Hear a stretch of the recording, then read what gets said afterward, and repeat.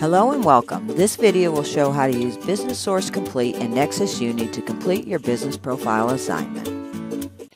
To complete the Business 110 business profile assignment, you need to go to the Edison State Community College main, main page, select the resources link, and then select the library link. And that'll take you to the Edison State Library main web page. To complete the assignment, you will need to use the Edison State databases and the LibGuides. To find the databases needed for the assignment, you have to select the Edison State Database blue box. The two databases needed to complete this assignment is the Business Source Complete and Nexis Uni. You select either of these links to access the databases. Be aware, this is the for use on campus, and these are the for use off campus links. If you're selecting the off campus link for the Business Source Complete, you will need to log on by entering the last name followed by the first name, and then the library card number, which is the number 1973, and your student ID number, including the zeros. This is Business Source Complete.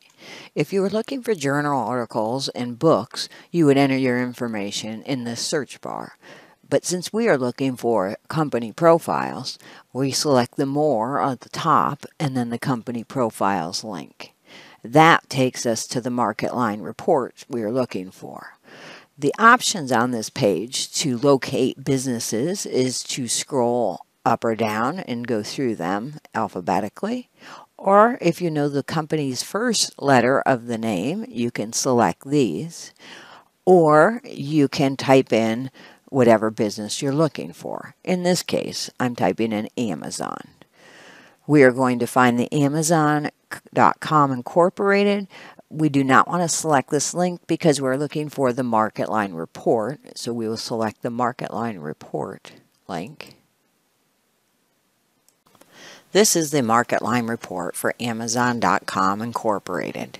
There's many ways to go through the document. You can scroll through it and go page by page looking for the information needed. Or you can go back up to the top in the table of contents.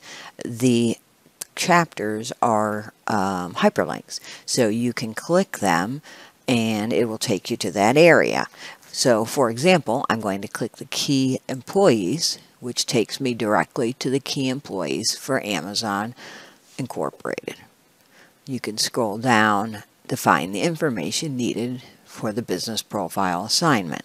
To get back up to the top, you can just scroll back up to the top until you're back into the table of contents area and pick whatever area you need from there.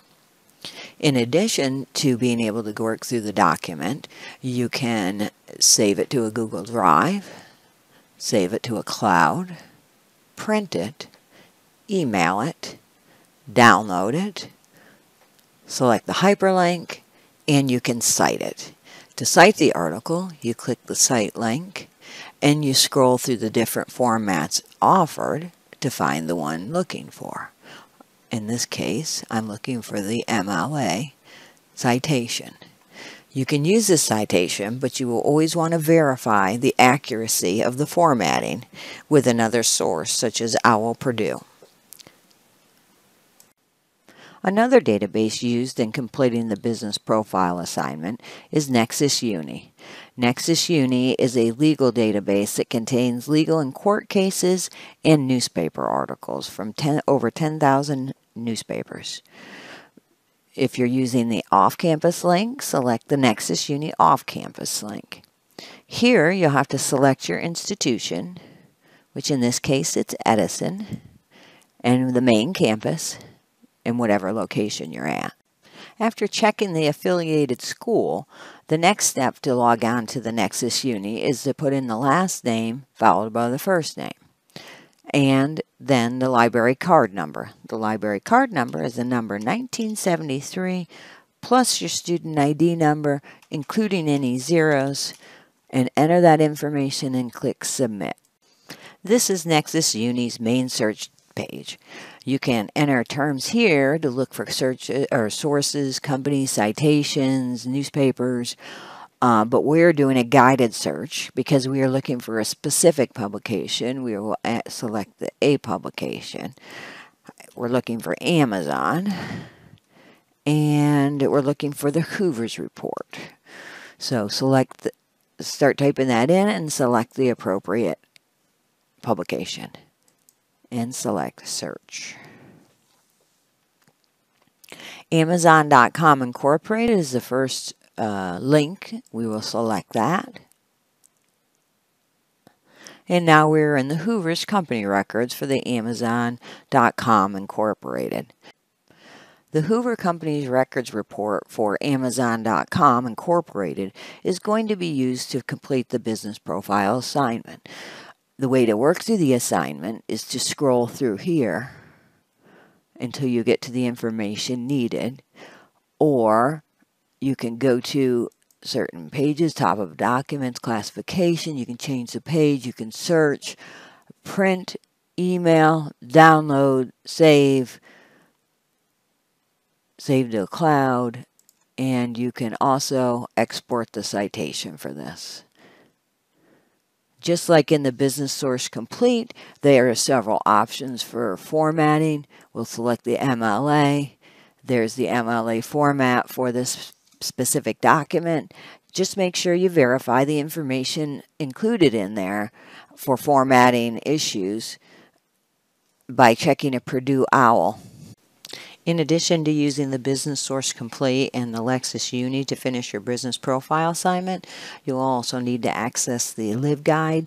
Um, for this specific assignment, LibGuides are guides created for specific classes and assignments. And if you scroll down through the guides, you'll see there's one for the Business 110 business profile assignment. Go ahead and select that. Um, in this LibGuide are the links to the Business Source Complete and the Nexis Uni. In addition, they're How Do I uh, are PDFs of how you access the databases and find the different reports needed to complete the assignment. Uh, we also have specific videos you can select to watch those. And in addition, you will need to use the Google Business Search for uh, additional information in your business profile assignment. Um, the last thing in this is the citation link, and this takes you to the online writing lab, the OWL Purdue, for formatting and style guides. Uh, there's also the PDF of How Do I to cite in Business Source Complete. Uh, along the right hand side are links to email or to contact the library specifically. Thank you for watching our overview of using library resources to complete your business profile assignment. Thanks for watching.